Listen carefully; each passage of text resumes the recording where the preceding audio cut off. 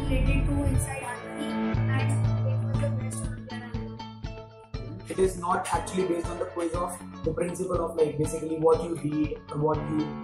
try to know and what you learn. It's based upon what you have inside you. So it's the real intellectuality which a person should have inside so it is one of the best quizzes i've ever given not in the terms of knowledge but in the terms of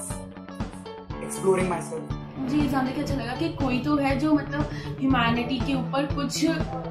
काम कर रहा है, कुछ बढ़ावा दे रहा है, बच्चों से ये एग्ज़ाम करवा रहा है और उनको बता रहा है कि हाँ कि इतना तुम क्या सोचते हो उस ह्यूमैनिटी के बारे में क्वेश्चंस में? तुम्हारा क्या पर्सपेक्टिव है? तुमने क्या सोचा ह्यूमैनिटी के बारे में और क्या होता है एक्चुअली